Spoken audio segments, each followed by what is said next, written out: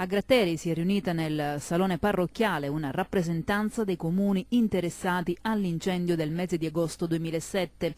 Il sindaco Giuseppe Muffoletto, intervenuto al dibattito, si è soffermato sull'importanza della prevenzione a livello territoriale.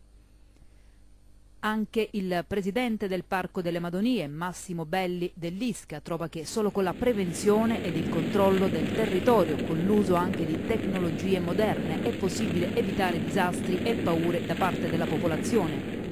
Per Collesano la regione siciliana maestosamente tace. Ad oggi non registro nessuna iniziativa della regione siciliana quantunque dai sindaci, quindi anche da me, sollecitata ad intervenire sotto profili. Si prende la strada per Collestano, si arriva a Collestano, si attraversa il territorio di Collestano, si va verso Sciliato e si ha un unico paesaggio, a valle e a monte.